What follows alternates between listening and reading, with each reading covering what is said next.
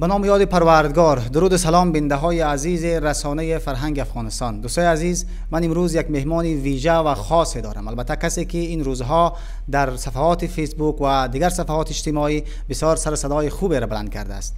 آقای شریف الله مبارز آهنگر. شاعر و نویسنده و همچنان کسی که بیشتری سرایش ها و دکلمه هایی که ایشان دارند به زبان تاجیکانه و لهجه‌ای است. میشه بیشتر با ایشان گپ و گفته داشته باشیم بشنویم و از سخنان دلنشینشان بیشتر لذت ببریم. سلام علیکم. به نام خداوند جان و خرد سلام عرض ادب حضور شما.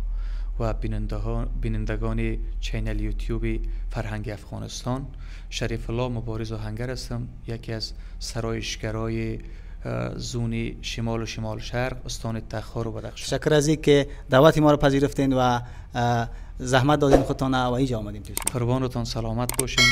دیگه یک فضیلت است که هر شاعر و هر نویسنده می‌تونه که از داشته هایش مردم را مستفید بسازه و در اینجا که این دوربین شما وسیله قرار می‌گیره و دوستو از استفاده می‌کنه یک فرصت خوبی است. سلامت باشین. تشکر آنگر عزیز.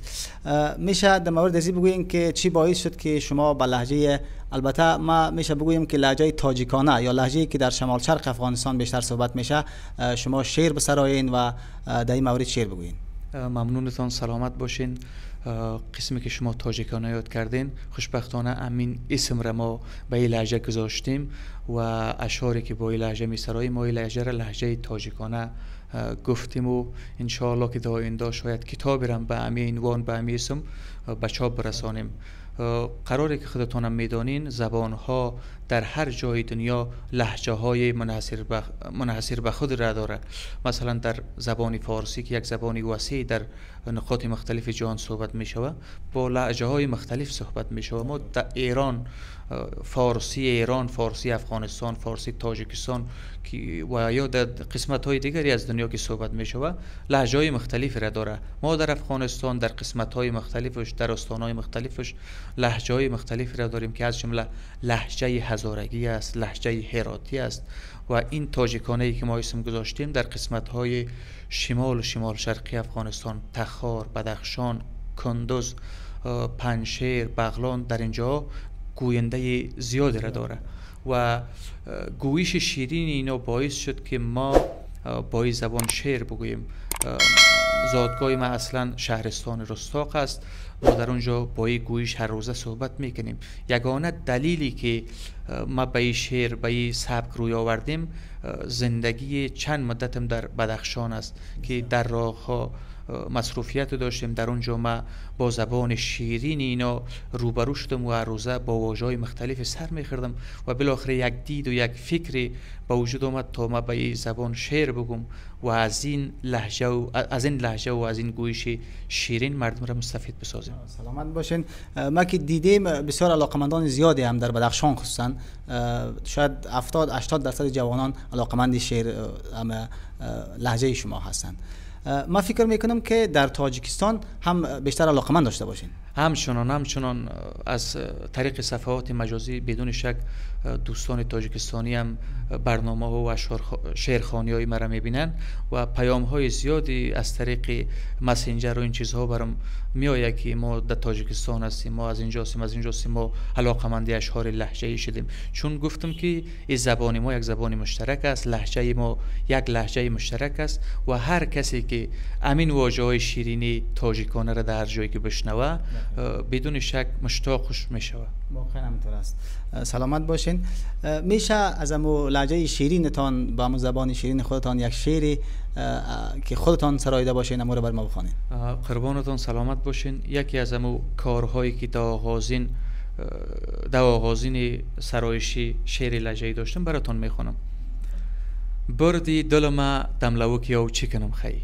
بردی دلما دملوکی او چی کنم خی؟ خوشروگی تو دم همه جا چو چی کنم خی ای دور تر دیدم و یک باره دلم ریخت. وقتی نشوم پیش یو چی کنم خی کم کم بسرم سایه عشقی تو زده سه می تاوی رخت مسلکی افتو چی کنم خی شو شو دلم ای عشق تو دم تندور بردی به خدا ای نظرم خو چی کنم خی سا مرده گورم ز غمت دختر قشلاق هجری تو مرا می‌کنه پرتاو چی کنم؟ خی بیگاه و پگه ایمس قیغوی زیادت بیگاه و پگه ایمس قیغوی تخردم ناجور شدم شیمه به چارغاو. چی کنم خی گفتم ترا تویت بکنم.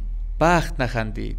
با بخت پدر لعنتی لایاو چی کنم خی ده که یاقف پدر و مفلس و یاغی. دم لطه تو غیر مچنگو چی کنم خی گفتی که ترا بابای پیرم نپذیرفت. باوای ترا من نزنم دو چی کنم خی یکی از سرودهای لحجه بود که براتون خواندم. عالی بود. دوستای عزیز ما خو لذت بردیم. حتما شما هم لذت می‌برین.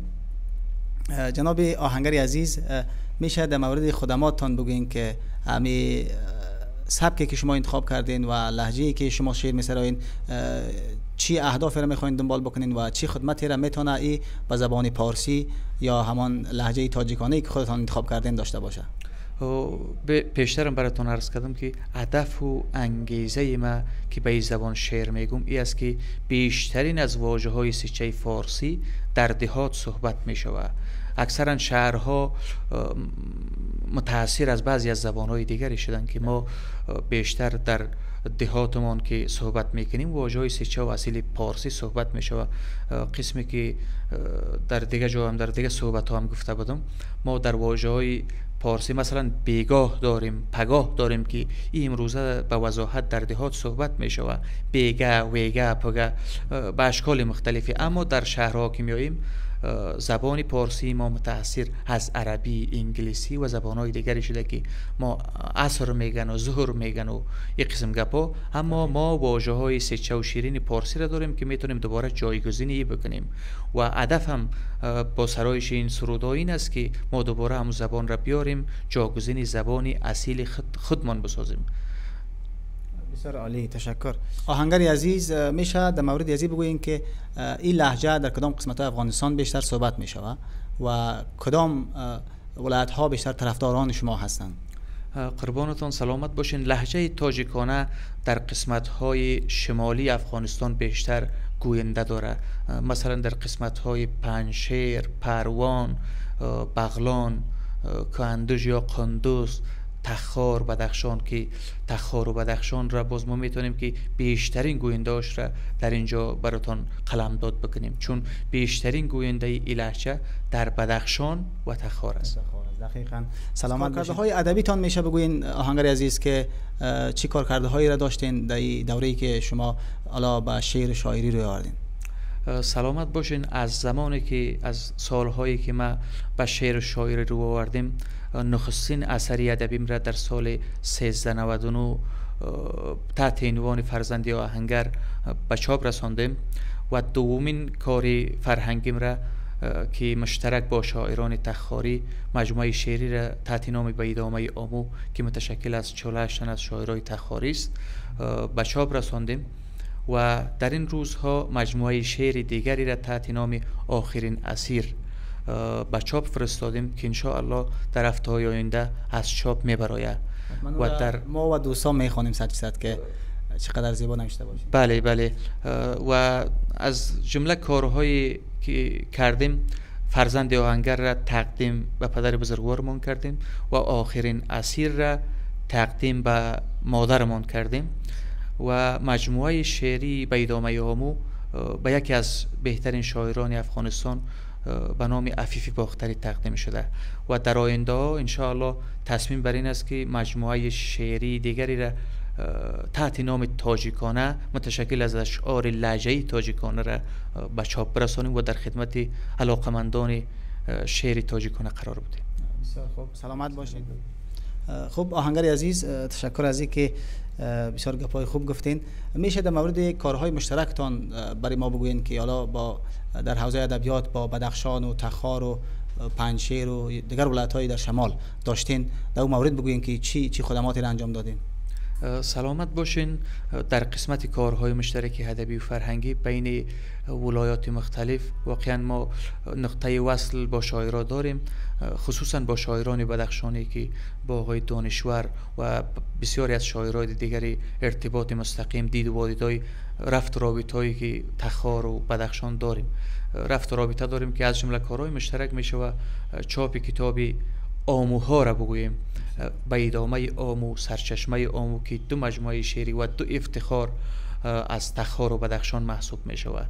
در امو قبلا براتون گفتم که در سال 1400 به ادامه آمور ما با مشوره یکدیگر در تخار جمع کردیم و بعدا ادامه ای کاری ادبیمون در بدخشان بود که به مشوره یکدیگر آقای دانشور مجموعه شعر سرچشمه های امور از بدخشان جمع آوری گردآوری کردن و چاپ سپردن و نوید دیگری هم است که دوستان قندزی ما شاعران قندزی ما در اونجا کتابی را به نام یا امتدادی آمو یا به یک اسم دیگه که اورم آمو شاملش هست دوایندهای نزدیک و چاپ برسانن.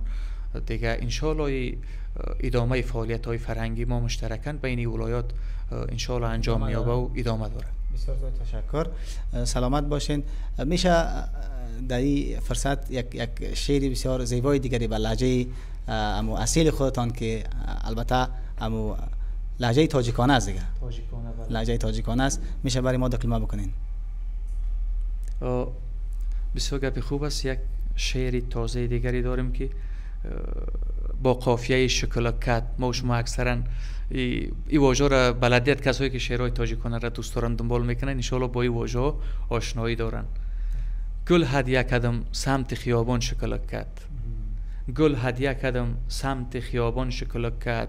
گفتم که بگی توفم ای جان شکلک کرد. ایشینگ درش کلم آیسته کشیدم. شرمید و در خیلی شتابان شکلک کرد.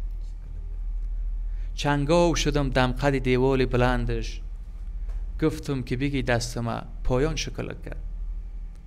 دینه به قدش تحفه نوروزی خریدم. سوغات مرا دمسر میدان شکلک کرد. روزی زی پسی کوچک آیسته گذشتم خاک به سرم مسلک طوفان شکل کرد. دم پیش چلک باز به سمتش نظرم خورد. در رو سکل ایلوی دالان شکل کرد. دیوانه ربی هر چی که دادم نپذیرفت. گفتم که مرا ای قنرنجان شکل کرد. فهمید که ما شاعر بیچاره و مفلس. فهمید که ما شاعری بیچاره و مفلس نم مالک ما برده در دیگدان شکل کرد. بسیار عالی سلامت باشین آهنگری عزیز. امی شکل کد همیشه بگوین کی چی است؟ برای دوستا البته چند واژه های بسیار اصلی و امو بومی بدخشان و تخارج استفاده میشه. شاید اکثریت اینا را درک نکنن که چی معنا میدن. یک گپی دیگر هم باید برای شما در اینجا بگم که امی واژه های تاجیکانه در اشعار تاجیکانه که ما به کار می‌برم اکثرا متاثر از زبان ترکی هم است بعضی از واژه های شیرین ترکی هم آمیخته با فارسی شده و این واژه ها را تشکیل داده. که شیرینی و جذابیتش را بیشتر ساخته. و در قسمت شکلک سوال کردین شکلک یعنی دور انداختن. یک چیزی که نابکار بوده باشه یک طرف دیگه پرتاب کردن. شکلک میگیم دنگلکش میگیم همین قسم یک چیزای با لحجه توجیکانه یادش می‌کنه لحجه اصیل بومی ما دیگه. سلامت باشین. تشکر آهنگری عزیز از که فرصت دادین و بسیار شیر و لحجه شیرین تون برای ما دکلمه کردین.